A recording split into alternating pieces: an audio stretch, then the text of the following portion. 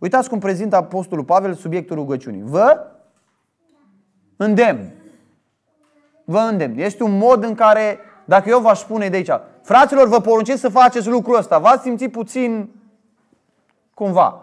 Nu că Apostolul Pavel n-avea dreptul să ne poruncească, dar este un mod retoric, un mod de a se adresa fraților, da? Un mod uh, frățesc de a se adresa fraților. Da? Asta e prima observație. Apoi, a doua observație, spune, vă îndemn, dar înainte de toate. Vreți să fac puțin mai mare? Facem puțin mai mare, uite așa. E bine? E foarte bine. Ok, bine, foarte bine.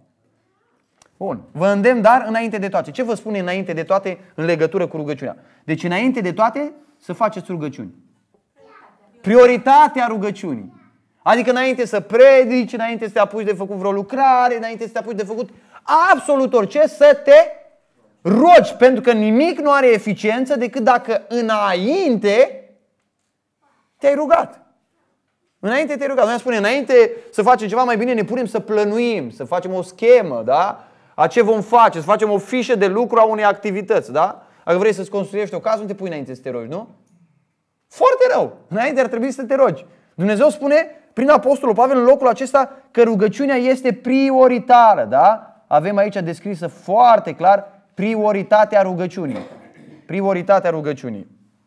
Apoi, avem aici descrise câteva moduri în care ne putem ruga. Cereri, mivlociri, mulțumiri. Când prezintă mai multe moduri în care te poți ruga, eu aș spune să numim asta diversitatea rugăciunii, da? Diversitatea rugăciunii. Nu ne rugăm într-un singur fel. De asta noi, duminică dimineața, într-un fel aplicăm 1 Timotei 2, nu? Întâi mulțumim sau îl adorăm pe Dumnezeu, apoi facem niște mărturisiri, facem cereri, mivlociri. Lucrurile au o logică, da? Când îi ceri lui Dumnezeu ceva, nu știu dacă dumneavoastră ați auzit, dacă v-ați simțit vreodată mustrați sau dacă ați auzit, v-ați, ați auzit predici care, frate, sunt mustrați că cer prea mult, nu? Dar nu mai cerem lui Dumnezeu, mai mult să-i mulțumim. Într-adevăr, e o logică când l-ai mulțumit înainte lui Dumnezeu. Că în momentul în care îi mulțumești lui Dumnezeu sau îl adori pe Dumnezeu și vezi atributele lui Dumnezeu, multe din problemele și îngrijorările tale îți dai seama că nu au nicio logică, niciun sens, nici nu mai vine să pentru ele, da? Să scurg lucrurile uh, lipsite de important din viața noastră. Dar cererea în sine este un lucru extraordinar. În momentul în care te duci și ceri lui Dumnezeu, îi arăți lui Dumnezeu sau transmiți faptul că ești dependent de Dumnezeu. De asta îi ceri și pâinea de fiecare zi. De ce? Că depinzi de Dumnezeu chiar și în, pâinea, în ce privește pâinea de fiecare zi. A cere lui Dumnezeu este ceva ce îi dă glorie lui Dumnezeu. Pentru că arăți că Dumnezeu este acela care te poate ajuta. A venit cu toate cererile tale, cu toate nevoile tale înaintea lui Dumnezeu este un lucru care dă slavă lui Dumnezeu. Cheamă-mă în ziua necazului. Nu? Eu te voi asculta, iar tu mă vei proslăvi. Da? Eu îți voi răspunde eu te voi ajuta, eu voi interveni, iar tu mă vei proslăvi. Ai cere lui Dumnezeu ajutorul este un lucru care dă glorie lui Dumnezeu. Apoi mivlocirea are de-a face cu ceilalți oameni, da? Și mulțumirea are de-a face cu momentul în care Dumnezeu ți-a dat un răspuns la rugăciune, da? A făcut deja ceva Dumnezeu. Rugăciunea noastră trebuie să fie diversă. Trebuie să fie diversă. Alt detaliu important al acestui pasaj este că ne spune că trebuie să Uh, facem rugăciuni pentru toți oamenii. Trebuie să facem rugăciuni pentru toți oamenii. Din câte mi-amintesc, fratele Mihai a făcut deja testul ăsta cu dumneavoastră. Vi-l fac și eu. Uh, planeta Pământ are la ora actuală cam câte miliarde de oameni? Șapte și ceva, nu? Cred că merge spre șapte jumate. Acum imaginează ce ar însemna, nu să te rogi pentru șapte miliarde, șapte miliarde de oameni. Cât, câți oameni, câți locuitori are Zalău? Cât? 65 de mii, 70 de mii, nu ne certă asta, acum nu contează, da? Oricum, uh, imaginează-ți ce ar fi să trebuiască să te rogi pentru 65 de mii de oameni. Nu ai nicio șansă, vă spun de ce. Până îi cauți și găsești tu pe, pe toți, oricum nu poți să faci asta. Dar până cauți să-i găsești tu pe toți, unii au murit, uh, alții s-au născut, niciodată n-ajungi să te rogi pentru toți oamenii. Alții zic că textul ne spune să ne rugăm la grămadă. Doamne, ai milă de toată planeta. Puțin probabil. Nu vezi nicăieri în Sfânta Scriptură că Dumnezeu are dorințe din asta pentru noi și Dumnezeu ne roagă să ne rugăm așa nespecific, fără rost, să ne rugăm. Doamne, ai milă pentru toată planeta, de toată planeta. Da, poți să te rogi dacă vrei. Dar e puțin probabil și nu se potrivește cu teologia rugăciunii din toată Sfânta Scriptură să te rogi în felul acesta. Ceea ce înseamnă că, foarte important, expresia asta, toți oamenii, nu înseamnă fiecare individ de pe planetă. Ci înseamnă să te rogi pentru orice categorie de oameni. Adică să nu fie nimeni, nicio categorie, niciun fel de oameni pentru care tu să nu te rogi. Niciun fel de categorie de oameni. Iar lucrul acesta, interpretarea aceasta este întărită de, este întărită de specificația, e exemplul pe care el îl dă mai jos. Când specifică, nu un individ particular, ci specifică o categorie de oameni. Ce categorie? Categoria împăraților sau celor care sunt înălțați în dregătorii. De ce credeți dumneavoastră sau de ce din contextul secolului I credeți că Apostolul Pavel specifică categoria asta de oameni și nu specifică pe alta? De ce? Pentru că, pentru categoria asta de oameni, ar fi fost cel mai greu să te rogi pentru el, nu? De ce? Pentru că ăștia făceau cel mai mult rău copiilor lui Dumnezeu. Prima parte din istoria creștinismului a fost o, o, o, o perioadă de timp de prigoane fantastice. De o grămadă de sânge vărsat. Și Apostolul Pavel spune, rugați-vă pentru toți oamenii. Și frații din biserică, da, ne rugăm. Nu, când spun pentru toți oamenii, mă refer chiar și pentru categoria asta de oameni. Care? Ăștia care vă persecută, ăștia care vă răpăiesc averile, ăștia care vă crucifică. Aici se vede caracterul supranatural, dumnezeiesc, spiritual, duhovnicesc al creștinismului. Că în rugăciunile noastre nu este scoasă nicio categorie de oameni. Dar există un alt motiv pentru care Apostolul Pavel spune să ne rugăm pentru oamenii aceștia. Care este motivul? Pentru că oamenii aceștia, motivul este arătat prin cuvântul acesta de legătură casă, la care introduce motivul, da? De ce să ne rugăm pentru împărați? Pentru că iau de la Dumnezeu puterea de a ne face viața sau de a introduce niște legi, ă, un sistem în societate care să ne facă nouă, să ne faciliteze a trăi o viață pașnică, liniștită, cu toată evlavia și cu toată cinstea. Cu alte cuvinte, scopul lui Dumnezeu, când noi ne rugăm pentru ei, nu-i vizează doar pe ei, ci ne vizează întâi pe noi biserica. Da? Noi ne rugăm pentru ei ca să se întâmple ceva pentru noi. Acum, vezi, noi tot uh, am mai discutat între noi, dar e bine să faci proteste. E legal să faci proteste într-un anume fel, proteste pașnice, zicem noi, statul ne permite și așa mai departe. Primul protest pe care trebuie să-l facem e rugăciune. La propriu, când v-ați rugat ultima dată pentru Dragnea? Ăsta e capul răutăților în țara asta. Spun deschis lucruri, nu? E evident. Numai pentru ei nu e evident. Dar politicienii sunt aceia care în țara noastră ne fac o grămadă de rău. Fac o grămadă de rău. Dar indiferent de culoarea politică, toți care se perindă pe acolo, bag mâna în buzunarele noastre și trag cât pot. Îți dă pe parte și îți ia pe alta, da? E o problemă. Când ne-a rugat ultima dată pentru ei? Am putea să scriem articole, am putea să facem proteste, am putea să facem o grămadă de lucruri. Practic, uitați-vă în țara noastră, practic. E aproape 30 de ani de la Revoluție. Ce s-a schimbat? S-au schimbat unele lucruri. Dar practic, dacă te uiți, au protestat acum un an, au mai protestat încă o dată acum și lucrurile nu se schimbă în esența lor. Nu se schimbă în fundamentul lor. Pentru că în esență și în fundament numai Dumnezeu poate schimba lucrurile.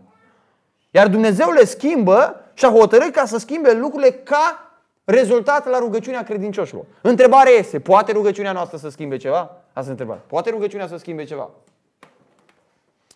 Mai tot felul de slogane și lozinci din asta. Rugăciunea schimbă lumea, rugăciunea, nu știu ce face mâinilor lui Dumnezeu, le pune în acțiune. Sunt tot felul de slogane și lozinci. Rugăciunea îl pune pe Dumnezeu în mișcare, rugăciunea, rugăciunea e un fel de mai mare ca Dumnezeu. Nu! Rugăciunea nu poate să schimbe planurile lui Dumnezeu, să fie foarte clar. Rugăciunea nu poate să schimbe planurile lui Dumnezeu. Dar Dumnezeu în planul lui a hotărât să-și îndeplinească anumite scopuri în urma rugăciunilor noastre. Așa că rugăciunea nu e fără sens. Dumnezeu spune, fac anumite lucruri dacă voi vă rugați sau când voi vă rugați. Sau ca răspuns la rugăciunile voastre. De aceea rugăciunea este importantă. Ca să spune, rugați-vă ca să putem duce astfel o viață pașnică și liniște. Mai putem, de ce nu poate Dumnezeu să lucreze El direct? Nu, Dumnezeu a hotărât ca să lucreze prin noi. Ca rezultat la rugăciunile noastre. Rugăciunile noastre au rost. Rugăciunile noastre au rost. Și observați aici că rugăciunea, da? Rugăciunea precede purtarea noastră să putem duce. Să putem duce, da? Rugăciunea facilitează o purtare după voia lui Dumnezeu. Noi putem să ne străduim să fim moraliști, să fim uh, mărturii înaintea lumii. Pavel spune întâi să ne rugăm. Întâi să ne rugăm pentru lucrul acesta. Observați aici un termen important. Cuvântul ca să putem. Deci faceți rugăciuni ca să putem duce astfel o viață pașnică și liniștită. Puneți reversul. Dacă nu faceți rugăciuni, nu putem duce o viață pașnică și liniștită. Da? Dacă faci rugăciuni, poți să duci o viață pașnică și liniștită. Reversul este că dacă nu faci rugăciuni, nu poți să duci o viață pașnică și liniștită. Da? În primul rând, aici este un aspect social ăsta, să duci o viață pașnică și liniștită. Da? E un aspect social, aș spune, da? care privește relația noastră cu ceilalți. Da? Credincioșii nu trebuie să fie scandalagii, nu trebuie să fie oameni care fac, care atâță lucrurile, trebuie să fie oameni care trăiesc în pace și în liniște. Dar mai jos este un aspect spiritual. Evlavia vizează relația noastră cu Dumnezeu. Da? Cu alte cuvinte, noi nu suntem chemați să fim pur și simplu moraliști. Că dacă te uiți la asta, o viață pașnică și liniștită, asta zici, dar sunt mulți moraliști, mulți atei care au o viață pașnică și liniștită. Nu, lucrurile sunt îmbinate aici, o viață pașnică și liniștită în societate, datorită faptului că noi suntem oameni evlavioși, oameni care îl cinstim în primul rând pe Dumnezeu. Da? Aspectul spiritual îl reglementează pe cel social. Da? Foarte important, foarte important lucrul acesta. Bun. Lucrul acesta, spune Apostolul Pavel, îți dă niște motivații. Aici eh, avem într-un fel stabilită, spun eu la primul punct acolo, avem eh, stabilită agenda rugăciunii.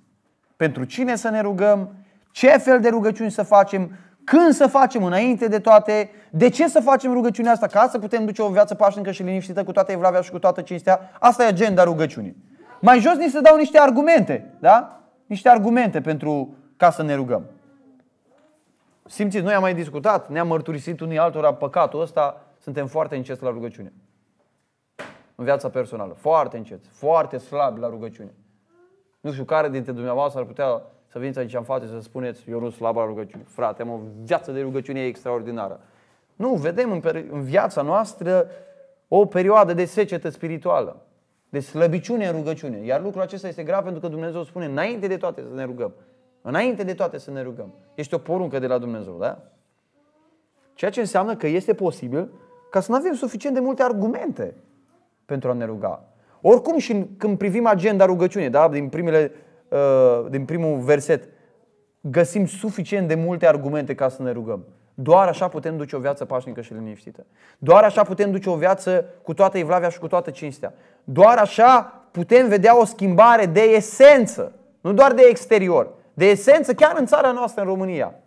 Dacă mă întrebați pe mine, eu cred că principalii vinovați pentru starea actuală socială, economică în țara asta sunt pocăiții care ei nu-și fac întâi datoria fără, față de dregătorii din țara asta. Noi suntem primii vinovați. Ei au vinovăția lor că sunt departe de Dumnezeu, dar noi îl cunoaștem pe Dumnezeu. Și Dumnezeu ne-a spus modul în care se pot schimba lucrurile. Și de-a lungul istoriei vedem cum Dumnezeu a transformat fața unor întregi continente datorită credincioșilor care au fost în țările acelea. Da? Noi suntem primii responsabili. Să nu ne vedem așa micuți ca adunare sau micuți ca părtășii aici ca și comunitate și să spunem, oh, da, ce, dacă nu se roagă pocăiți, ce putem să facem noi? Nu este așa. Dumnezeu nostru este mare, porunca lui Dumnezeu este clară, El ne-a spus felul în care funcționează lucrurile. Vă rugați, eu reacționez, eu lucrez. Iar noi ar trebui să începem să facem lucrul acesta cu stăruință, cu râvnă, cu putere, cu foc, bazându-ne pe textul biblic. Nu pe niște promisiuni din astea super ultra carismatice, ă, inventate de om, că noi schimbăm lumea, așa să vă dau eu o viziune din asta de schimbare a lumii care nu are niciun fundament. Promisiuni goale, viziuni goale, care nu au niciun fundament. Nu, noi avem fundamentul biblic aici. Îl avem în fața noastră, avem textul care ne încurajează, care ne dă toate motivele să lucrăm în rugăciune, să stăruim în rugăciune, să luptăm în rugăciune. Dar printre argumentele prezentate mai sus avem aici alte argumente. Lucrul acesta, care e lucrul acesta? Că mie mi se pare că spune două lucruri. Unul, să ne rugăm și să ducem o viață pașnică și liniștită. Care e lucrul acesta? Pare să fie un singular. Care credeți dumneavoastră? Că două. Avem rugăciunea, da, aici, rugăciunea, să ne rugăm și să ducem o viață pașnică și liniștită. Întrebarea este lucrul acesta la ce se referă? La rugăciune sau la trăirea noastră? Unii zic la rugăciune, unii zic la trăire. Exact. Într-un fel sunt amândouă. Pentru că celălalt, al doilea este o consecință. Dacă te rogi, este o consecință purtarea ta, da? Într-un fel este primul, doar primul, dar fiindcă al doilea e legat de primul, ele vin împreună. Lucrul acesta, adică a te ruga pentru dregători, ceea ce duce la o viață după voia lui Dumnezeu, lucrul acesta, de ce să te rogi? Că lucrul acesta este bun și bine primit. Vedeți aici, faptul că este bun este arătată calitatea morală a lucrului acestuia, da? Calitatea lui morală, da? Un lucru este bun.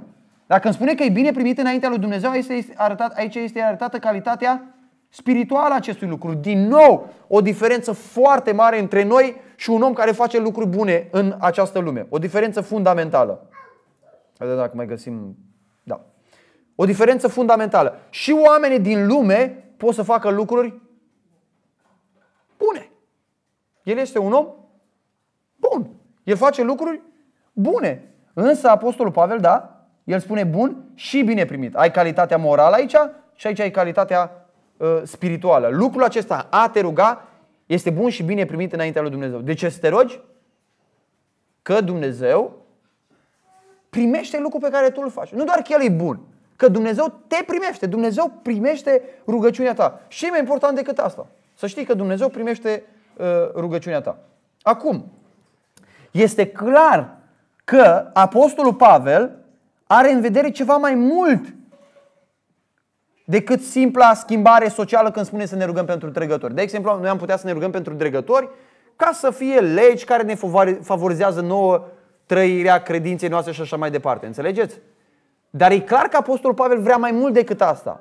Vrea mai mult decât Dumnezeu doar să influențeze pe oameni din dregătorii. Dumnezeu ce vrea cu ei? Vrea să-i mântuiască. Vrea să-i mântuiască, vrea mai mult decât să îi influențeze cumva să ne facă nouă viața de credință ușoară. Da? Dumnezeu vrea să-i mântuiască. Da? Deci avem primul argument că lucrul acesta este bun și bine primit înaintea lui Dumnezeu. Și doi, avem argumentul voinței lui Dumnezeu aici. Uitați-l aici. Care voiește ca toți oamenii să fie mântuiți. Întrebarea este, vedeți aici este o discuție într-adevăr. În, în teologia calvinistă sunt două perspective. Unii care zic că Dumnezeu voiește ca doar cei aleși să fie mântuiți, iar alții care zic Dumnezeu își dorește ca toți oamenii să fie mântuiți, dar a decis doar mântuirea celor aleși. Cu alte cuvinte, se face o diferență între dorința lui Dumnezeu sau plăcerea lui Dumnezeu și deciziile lui Dumnezeu sau decretele lui Dumnezeu. Da? Iar eu nu am nicio problemă cu perspectiva asta. Da? că Dumnezeu la propriu a decretat să mântuiască un număr de oameni pe cei aleși, o mulțime pe care nu poate număra nimeni, în același timp, dorința lui Dumnezeu, lui Dumnezeu îi face plăcere sau dispoziția lui Dumnezeu este spre mântuirea uh, fiecărui om. Nu am nicio problemă. Întrebarea este despre ce vorbește textul aici. Vorbește despre dorință sau vorbește despre decret? Asta este întrebarea. Ca să răspunzi la întrebarea aceasta, ca să răspunzi la întrebarea aceasta, trebuie să interpretezi din nou expresia toți oamenii. Care apare a câtă oară în textul ăsta aici? A câtă oară? Aici. A doua oară, da? Ai să ne rugăm pentru toți oamenii și acum ai aici care voiește ca toți oamenii să fie mântuiți. Acum întrebarea este dacă există o schimbare de sens a expresiei toți oamenii din primul verset uh, și uh, până la versetul acesta. S-a schimbat cumva sensul? Există ceva în text care să ne dea de înțeles că s-a schimbat expre- sensul expresiei toți oamenii? Nu. Ceea ce înseamnă Ca aici când spune lucrul acesta este bun și bine primit înaintea lui Dumnezeu Mântuitorul nostru care voiește ca tot felul de oameni sau ca oameni din toate categoriile să fie mântuiți, da? Care voiește ca toate categoriile, da? Sau tot felul de oameni. Ăsta este sensul expresiei de aici, da? La fel cum expresia de aici, Dumnezeu vrea ca să facem cereri, mijlociri, mulțumiri pentru tot felul de oameni. Chiar și pentru împărați, da? Aici ai putea pune cuvântul chiar și pentru împărați și pentru toți cei ce sunt înălțați în dregătorii. De asemenea, lucrul acesta este bun și bine primit înaintea lui Dumnezeu Mântuitorul nostru care voiește ca tot felul de oameni să fie mântuiți sau din toate categoriile de oameni să fie mântuiți. Și găsiți în Apocalipsa că voința asta lui Dumnezeu sau dorința asta sau decizia, cum vreți să interpretați, a ajuns la împlinire. Când vezi o mulțime pe care nu o poate număra nimeni, de orice limbă, de orice neam, din orice rasă, da? Bărbați, femei, tineri, bătrâni, nu există nici. Nu, Dumnezeu n-a făcut discriminare în ce privește categoriile. Din orice categorie de oameni, Dumnezeu a luat oameni și i-a mântuit. Așa că opinia mea este că voiește de aici se referă la decretul lui Dumnezeu. Dumnezeu a decretat să mântuiască oameni din orice fel de categorie. Întrebarea este, decretul ăsta lui Dumnezeu s-a împlinit sau nu? Da! Și o să se împlinească în continuare. Dumnezeu nu stă, deci mă că aș vrea să mântuiesc și țigani, dar nu pot, mă, că ăștia nu să țin de credință. Așa am auzit noi. Nu pot, aș vrea. Dar dacă ei nu vor, aș vrea să mântuiesc și politicieni. Bă, dar ăștia, ăștia din România, ăștia, na, bă, ăștia sunt irecuperabili. Nici vorbă de așa ceva. Să știți că Dumnezeu mântuiește oameni din Parlamentul României. Dumnezeu face lucrul acesta. Din închisori. Din închisori am auzit acum o lucrare aparent mică în România, dar care este mare în influență, că au spus au primit, au primit răspuns de la un român din Siberia. A ajuns uh, literatură în Siberia. La o adunare care nu are nici 30 membri, în Siberia. Dumnezeu poate să mântuiască criminali închiși în închisoare prin Siberia? Prin ceea ce face fratele Radu cu fratele Marius și fratele Andrei în Zalău? Da! Da, domnule, Dumnezeu poate să facă lucrul ăsta și El face. Noi trebuie să înțelegem perspectiva largă a lucrării și a planului lui Dumnezeu. Nu să te uiți fix. A, omul ăsta e încăpățânat și nu vrea să se pocăiască. Asta nu e treaba ta. Treaba ta e să sameni cuvântul lui Dumnezeu și să lasă să ducă oriunde, pretutundde să se ducă cuvântul lui Dumnezeu. Și treaba lui Dumnezeu să frământe inimi, să schimbe inimi, să transforme inimi, să deschide inimi și așa mai departe. Și Dumnezeu, decretul lui Dumnezeu de a mântui tot felul de oameni, este pus în aplicare și se va împlini. El se împlinește și se va împlini. Eu nu stau și mă rog, Doamne, te rog să mântuiești pe oamenii ăștia. Eu știu că tu nu mă dorești lucrul ăsta, dar n-ai ce să faci dacă ei nu vor. Nu, te întreb cu ce te încurajează pe tine să te rogi în felul acesta. Adică și tu stai lângă Dumnezeu, Doamne, amândoi tremurăm oamenii să pocăiască ăștia și Dumnezeu spune, vom vedea. Eu vreau. Dar dacă El nu vrea, și tu să spui, asta este. Cum te impulsionează asta să te rogi? Spune, cum te impulsionează asta să te rogi? Dar cum te impulsionează să te rogi faptul că știi că Dumnezeu are un plan, are un decret de a mântui oameni din tot felul de categorii de oameni, va face lucrul acesta, dar îl face în urma rugăciunii noastre. Lucrul ăsta este fantastic. Lucrul ăsta este fantastic. Și acesta este al doilea argument, da? Dumnezeu vrea ca oamenii să fie mântuiți și să vină la cunoștința adevărului. Asta ă, să fie mântuiți rezultatul, da? și să vină la cunoștința adevărului este metoda pe care o folosește Dumnezeu. Și este fantastic un lucru. Oamenii întreabă dacă voi credeți în predestinare. De ce să mai evangelizez? Păi uite, ai un text care vorbește în, ace- în aceeași propoziție și despre predestinare și despre evangelizare. Zice că Dumnezeu voiește sau a decretat ca oamenii să fie mântuiți. Da? Deci avem în primul rând, haideți să facem o schemă. Avem în primul rând decretul lui Dumnezeu, decretul lui Dumnezeu, care vizează un scop. Și anume mântuirea, da? Însă, în, același, în aceeași propoziție, ni se arată că decretul lui Dumnezeu nu cuprinde doar scopul, ci cuprinde și metoda. Care este metoda? Omul să ajungă la cunoștința adevărului. Cineva trebuie să se ducă să-i predice, să-l evangelizeze, să-i aducă cunoștința adevărului. Același pasaj arată decretul lui Dumnezeu care din veșnicie vizează scopul, mântuirea Și îți dă și metoda care? Prin cunoștința adevărului. Asta e metoda pe care Dumnezeu a ales-o. Nu există niciun fel de contradicție între decret și rugăciune, cum vedem în acest pasaj. E, e, e fantastic. Oamenii pe care, uh, uh, întrebările pe care oamenii le pun cu privire la predestinare își au răspuns în pasajele din Sfânta Scriptură, foarte clar. De ce să mă rog dacă Dumnezeu a decretat? Pentru același motiv pentru care Pavel a spus să ne rugăm pentru toți oamenii și după aia a spus că Dumnezeu vrea să îi mântuiască pe toți. A decretat să îi mântuiască pe toți. Din același motiv.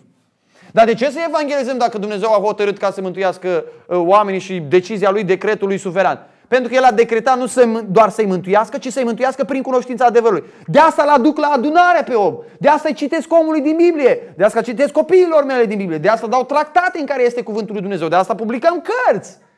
Ca să ajungă oamenii la cunoștința adevărului. Dar speranța noastră din spate nu este, sper ca omul ăla să fie mântuit. Nu, nădejdea noastră este legată de decretul lui Dumnezeu. De decretul predestinării. Predestinarea sau decretul de a mântui oamenii este ceea ce ne impulsionează să facem lucrarea asta, nu ceea ce ne stopează. Și dacă cineva ar debita orice altă filozofie legată de lucrul acesta, n-ar trebui decât să citească textul biblic, 1 Timotei, capitolul 2, care este foarte clar, este foarte clar. Unii zic că textul ăsta este o foarte mare problemă pentru calviniști. Mie mi se pare că e unul dintre cele mai încurajatoare pasaje din Sfânta Scriptură ca să ne rugăm și ca să evangelizăm. Ancorându-ne în faptul că Dumnezeu este, uh, Dumnezeu primește lucrul acesta, îl vede ca un lucru bun și în faptul că Dumnezeu a decretat lucrul acesta, da? A decretat lucrul acesta. Până la punctul acesta, până la punctul acesta, da? Avem descrisă persoana lui Dumnezeu Tatăl, da?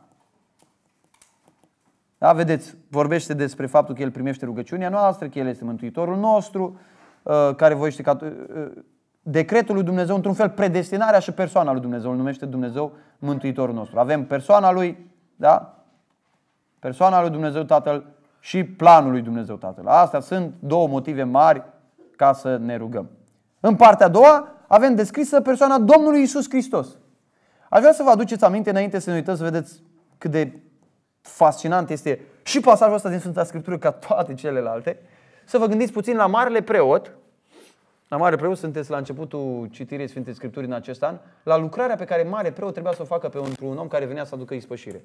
Mare Preot trebuia să facă două lucruri. Spuneți dumneavoastră, care trebuia să le facă? Venea ăla cu animalul. Ce trebuia să facă? Să jerfească animalul și trebuia să facă ceva nu față de animal, după aceea ce față de păcătos. Ce? Trebuia să față de păcătos trebuia să facă ceva. Marele preot față de păcătos trebuia să mijlocească în cumva pe omul acesta la Dumnezeu. Da? Asta era slujba marelui preot. Să aducă ispășire, să fie moarte acolo și să fie mijlocire. Haideți să ne uităm la Domnul Isus Hristos cum El a împlinit lucrurile acestea. Ia auziți, că este un singur Dumnezeu și există un singur mijlocit. Vedeți? Mijlocitor între Dumnezeu și oameni. Oamenii aici este la, la general, ca o întărire a faptului că toți oamenii, toți oamenii este o generalizare, vorbim despre categorii de oameni, care s-a dat pe sine însuși ca preț de răscumpărare. Aici este descrisă moartea Domnului Isus Hristos. Deci mijlocirea lui, prima lucrare, și a doua lucrare, moartea Domnului Isus Hristos. Și avem din nou expresia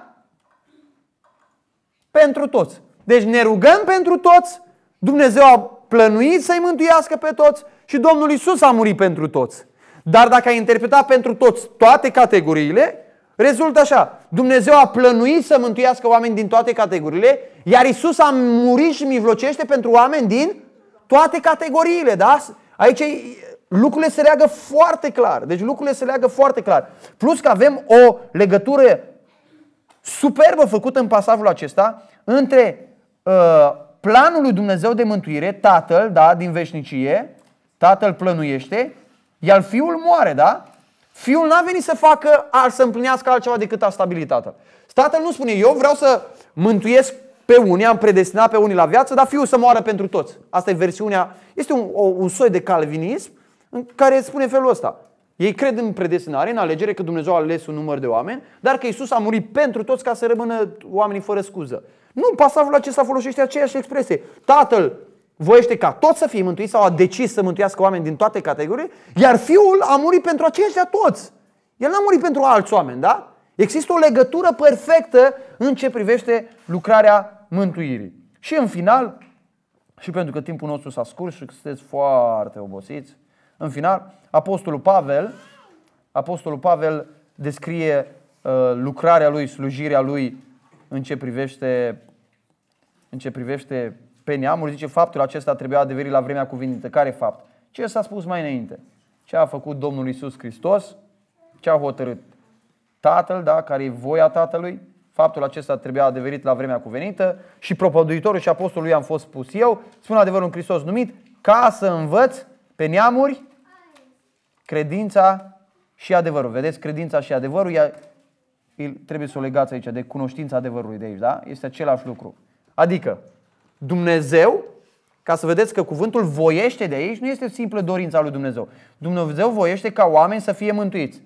Ca efect al acestui fapt, Apostolul Pavel a trimis, deci Dumnezeu vroiește ca oamenii să vină la cunoștința adevărului și Dumnezeu folosește o metodă. Da? O metodă pentru ca să-și împlinească acest lucru. Care? Îl trimite pe propovăduitorul și apostolul Pavel ca să învețe pe neamuri credința și adevărul. Da? Dumnezeu nu are doar scopuri, ci Dumnezeu are și metode. Îl folosește pe apostolul Pavel, un slujitor, ca să facă o slujire. Da? Un slujitor ca să facă o slujire.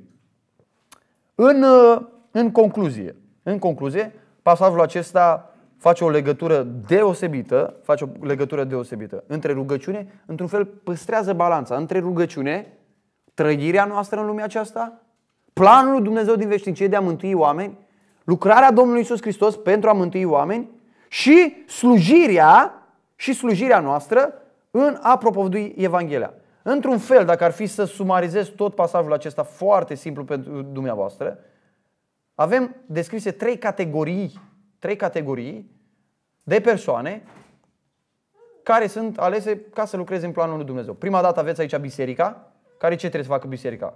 Într-un cuvânt, ce trebuie să facă biserica? Să se roage. În al doilea rând avem descris aici lucrarea lui Dumnezeu Tatăl și lucrarea lui Dumnezeu Fiul. Tatăl plănuiește mântuirea, Fiul procură mântuirea prin moartea și mijlocirea sa. Și în al treilea rând avem slujitorii care se duc și provoduiesc cuvântul lui Dumnezeu. Și aceste trei categorii de persoane sunt într-o unitate desăvârșită în producerea sau în realizarea mântuirii. Bineînțeles, la mijloc este Dumnezeu Tatăl, Dumnezeu Fiul, din care vin toate lucrurile și care fac eficace tot ceea ce vedem noi aici. Este fascinant să înțelegem și din pasajul acesta, într-un mod special, legătura care există între rugăciune, pe de o parte, aici sus, da, rugăciune, predicarea Evangheliei aici și lucrarea lui Dumnezeu, planul lui Dumnezeu. Apostolul Pavel vede o legătură desăvârșită uh, între ele. Așa că să ne rugăm, să predicăm Evanghelia și să ne încredem și să cunoaștem planul lui Dumnezeu. Și Dumnezeu își va duce la îndeplinire cu perfecțiune, cu desăvârșire, ceea ce El uh, a stabilit din veșnicie. Amin.